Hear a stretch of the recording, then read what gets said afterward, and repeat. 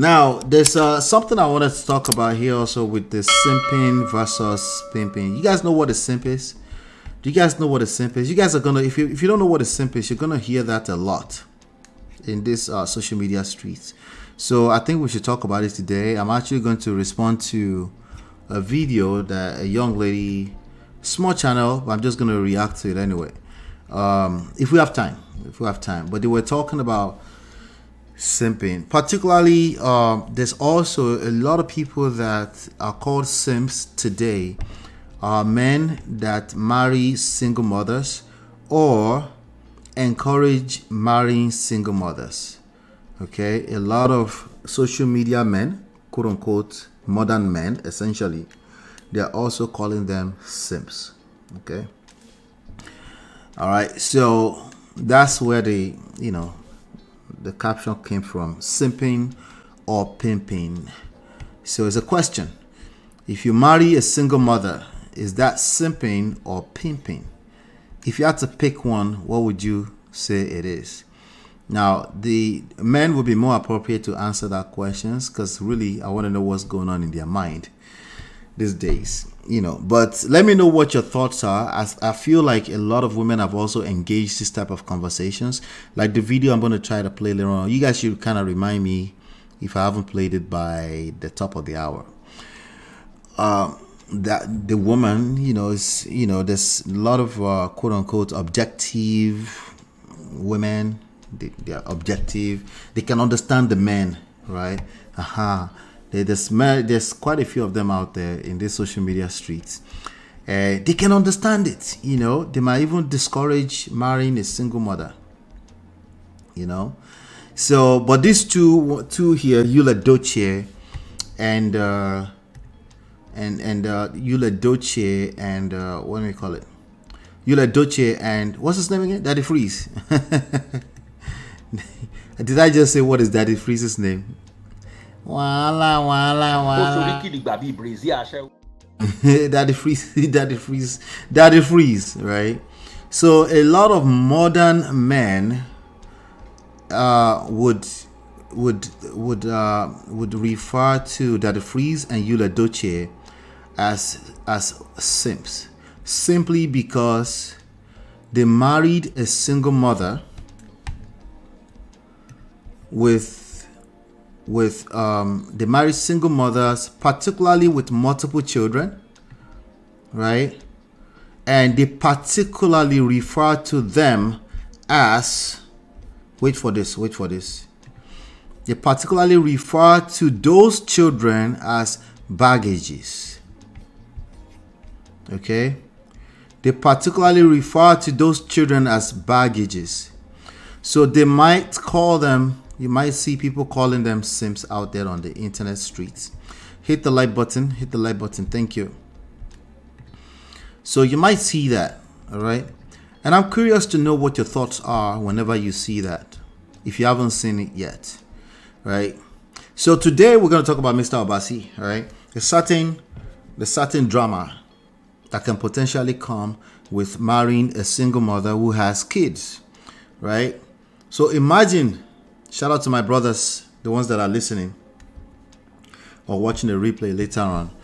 Imagine you married a beautiful, some people don't agree with that, but it's okay. Drink water. Imagine you married a beautiful Judy Austin watermelon, right?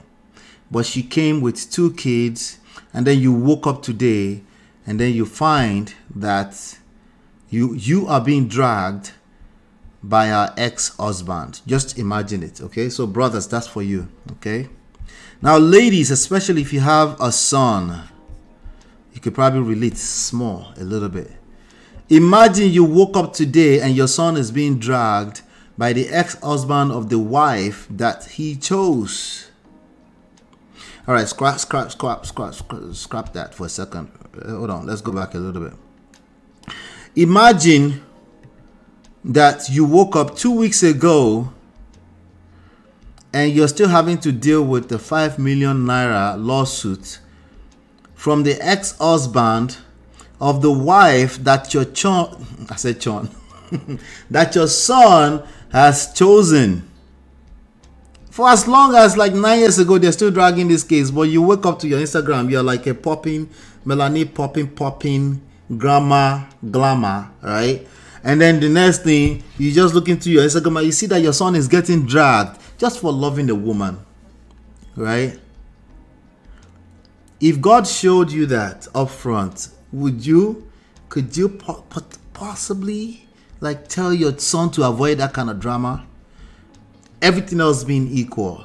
Nothing is wrong with her character. She's a cool person. She's good.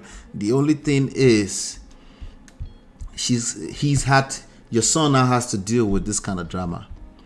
That's the angle that the title came from. The dangers and the beauty, maybe question marks, right?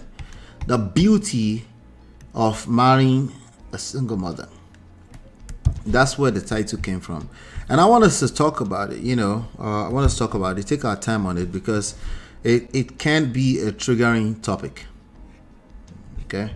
It can be, and I want to acknowledge that. And I know why it can be a triggering topic because, after all, uh, while women may have made choices that led to becoming a single mother, it's just life circumstances. So I can understand. I can understand that it can be a triggering topic. If it's too triggering, you can always leave quietly. But let's have this conversation because you might be on the on the on the perpetrator side today. You might be on the victim side. Uh, just literally 18 years down the line from here. So let's talk about it. And then talking about it does not mean we're going to judge anybody. We're not going to judge anybody. We don't do that here anyway. I don't do that. You might see uh, a little bit of that in the chat because I don't really control the chat and I try not to censor people in the chat. But I want us to talk about life is full of risk. That's the bottom line. Okay. Life is full of risk everywhere. And the only thing we can do is mitigate those risks, make the most out of those risks, right? And in spite of the risk, build a quality lifestyle right? In spite of all the risk, all the downsides, or that's what we need to be talking about at the end of the day, right? Without judging anyone. So let's drink some water. Let's drink some water. Let's see. Let me take a deep breath so I don't get triggered. No, don't worry, Chidima. You, you triggered. Ke. Mm-mm. Not you. The triggered ones are usually quiet. uh, let's see. Uh, he Ola is in his naughty mood again. Am I in my naughty mood? Oh, uh, he cracks me up when he's in his naughty drama king mood. What did I do? I didn't even start yet. The issue that can create dangers is boundaries. Okay, we're getting there already. I'm going to start that. I might, I might come back to that. Whether a man with baby mamas or, or mama's boy, people without boundaries are dangerous, period. I like that angle already. I like that angle already. Uh, let's see here. All right, good. I'm going to start that and we're going to come back to it. But let's talk about Mr. Obasi first. Uh, Mr. Obasi has been dragging, at least the video came out. The video might have been there. I don't know when the video was published. But Mr. Obasi is Judy Austin's um, ex-husband from 10 years ago or so. So they're getting dragged everywhere. You, and has been getting dragged, and I think I saw a statement of Judy saying that she is completely innocent. So let's listen to this first, and then we'll take it from there. Okay. So again, how is this related to the main topic today? This is an ex-husband from the past. This is an ex-husband of Yul Edochie's new uh, baby mother. Now, how is this related to Daddy Freeze? Because Daddy Freeze just got dragged to the muds for similar reasons by an ex-husband of his present wife. Okay, so we try our best to prepare for the future, but I think the most important thing when it comes to relationship and marriages is how to respond to crisis. I think it's more important than prevention is better than cure because it actually comes with prevention is better than cure.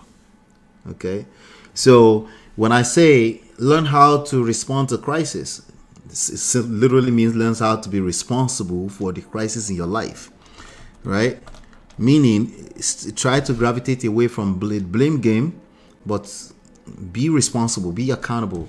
That's that literally means learning how to respond to crisis, right? And preparing to learn how to respond to crisis also is almost equal to prevention is better than cure because we know one thing is inevitable. Crisis will happen in life to all of us. Okay? If you do if you if you're not married to a baby mother, your daughter might end up being a baby mother. Okay? Is it our fault? We're not talking about whose fault is it, right? Because we can't keep digging through that. We can say, what do you do? What we want to talk about is what do you do if you find yourself in that situation? Would you be as judgmental? Does that mean we should just be encouraging everybody to do it? So it's like one extreme or the other, right? Let's encourage everybody to do it now. Well, first of all, I haven't know I haven't seen anybody outwardly encourage it. The only thing I've seen people do is say, hey, don't be so judgmental because your own breath probably stinks too right that's that's what i've seen people interpret as you're encouraging it okay so usually lame people will accuse people of encouraging baby mothership right but well if you don't call them out and hold them accountable? How are they going to stop? Let me guess. Okay me i can't stop it. Can you stop it? Right? Can you stop it? Can you show me your plan on how you're going to stop it? Outside of judging people. Outside of shaming people? Probably not, right? So let's calm down. Let's you two, especially men that that have a tendency to shame single mothers. Drink some water. Let's talk about it today because I want to hear all the angles here. Okay. Now, let me play this video and let's talk. Who frustrates me with these children because you know I love them. Now, a father like me, how will I be looking at myself that I have a children of a 16 years old and a 14 years old. 16 and 14.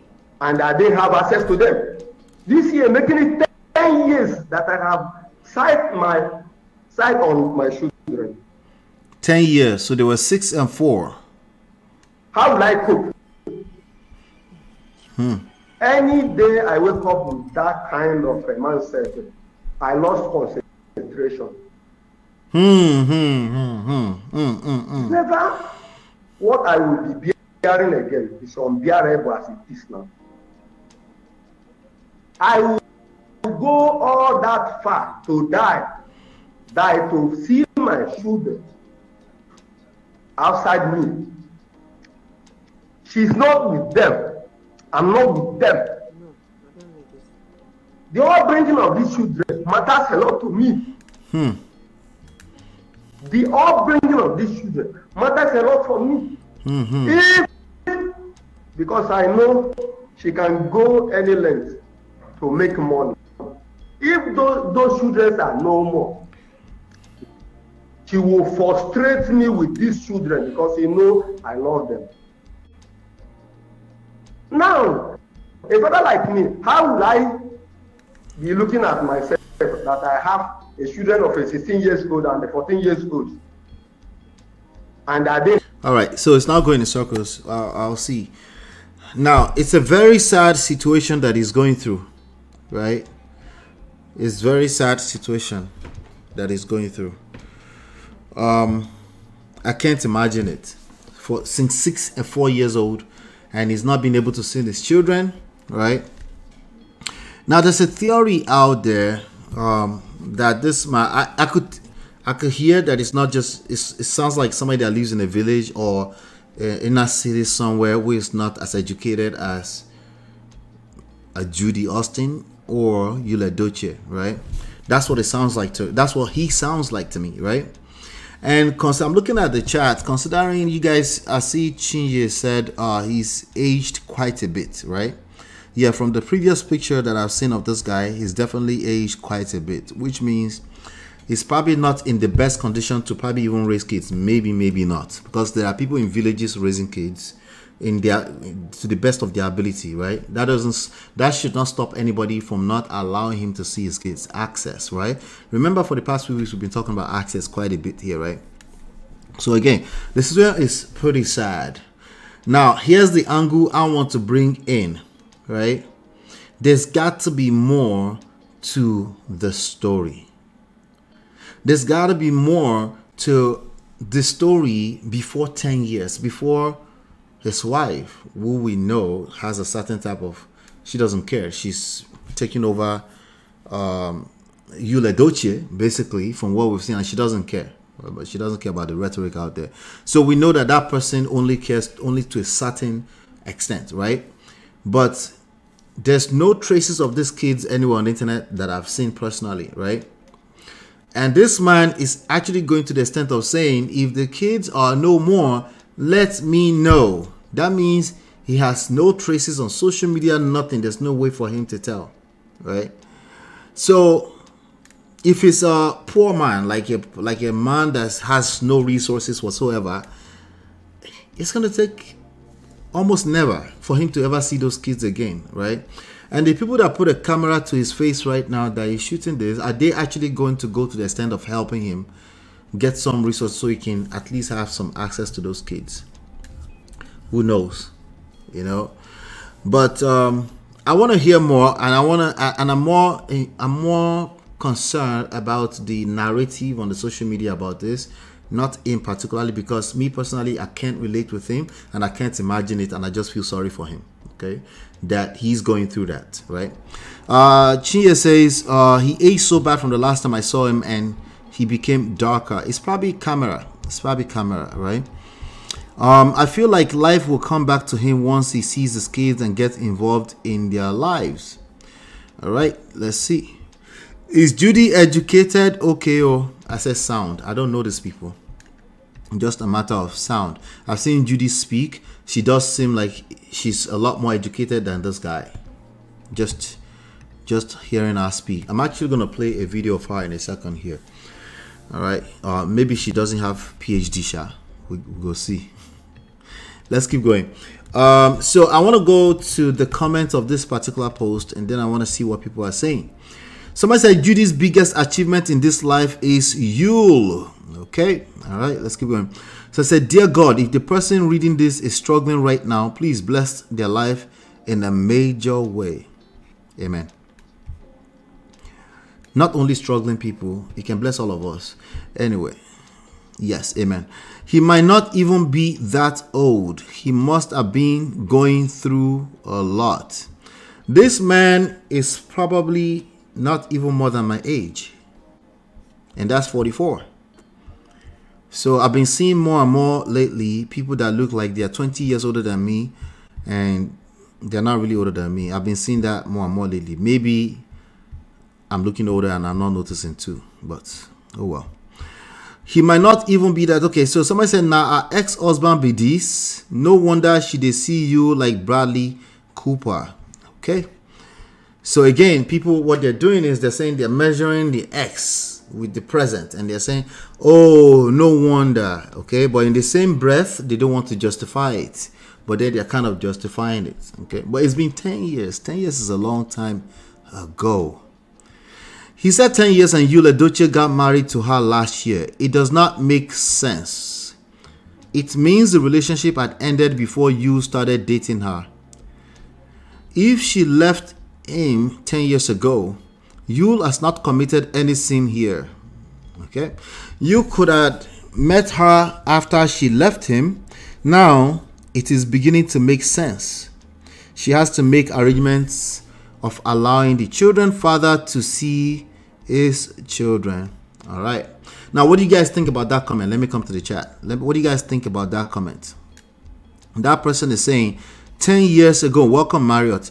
That person is saying 10 years ago is when they broke up. You just married this girl two years ago or so, right? So, give or take, let's say they have been dating, doing side hustle, you know, extracurricular activity for maybe three years. That makes it five years. So, let's just safely say five years. If it's more, let me know in the chat, okay? Let's say they've been messing around for five years, right? That is still much less than 10 years ago when she left him so can somebody clarify that up for me? Let's see. Uh, Mario says, "Watermelon, where are the kids?" Um, I heard our ex sent her to school. Not sure if it's true. That's what the ex said. That's what the ex said. Right? Now the X is showing up as somebody going through a lot, so uh, but maybe it's over time. Maybe it's deteriorated over time too. Uh, what are its legal recourses? I'm thinking paternity tests, alleging adultery and kidnapping, uh, asking court for some form of custody access. If paternity proves they are is, well, I think if he was ever married to her and that's proven even in customary court if they can prove that if she's admitted to be married to him i think that's more than enough proof that he has paternity rights. It doesn't have to be biological right? So that's really all they need. If they, if he can prove that hey my children that uh, you know were six and because you just got with right so that's all it takes they don't need biological proof unless there's actual uh dispute around the biology of the of the kids. If there's no dispute specifically around that, there's no need for DNA test. They just need to prove that they were actually married. All right. Uh, let's see. Cam D says Mr. Obasi is not asking Judy to come back. People mentioning his looks makes no sense at this point. The man is asking for his kids. All right. All right. Let me go back to some of the comments here. Someone say Chai Oga Emma that was full of that was full of life back in the days so people knew him apparently this man you guys are seeing here is the envy of all guys in my area before Judy came into the picture he no go better for that lady ezioku all right so did she do something to him or it's just as simple as uh, well that's not simple. That can hit the man the wrong in the wrong spot. Is it because she left? Somebody said no wonder she fit die for you. Now her biggest achievement too all right nobody's addressing the issue yet so far okay? The issue here is very simple. He wants to see his kids. Why is it that in all of the three to five years before i'm assuming it's an assumption. I could be wrong. Correct me if i'm wrong why is it that in all the three to five years after she left, immediately after she left, why is it that um, what happened, right? That he didn't have access to his kids, right? I think there was also story. I know she left and she wanted to go and act or pursue her dreams in Enugu from some kind of village. Correct me if I'm wrong, or I'm just trying to ride on you guys' wave here a little bit right? So what happened in all those immediate years or even the years when they were married because at least they were together they had a six and a four year old right? What happened in that relationship? Whatever happened in that relationship for the most part will not justify not allowing him to see his kids. If it's a situation where he's dangerous to the kids which is usually minority of the cases then we need to show some proof that he's dangerous to the kids right? We offer evidence based relationship and marriage resources and coaching to help you navigate the difficult times. Don't just wing it, learn the principles that work. Download our two free books and book your complimentary coaching session now at manofprestige.com.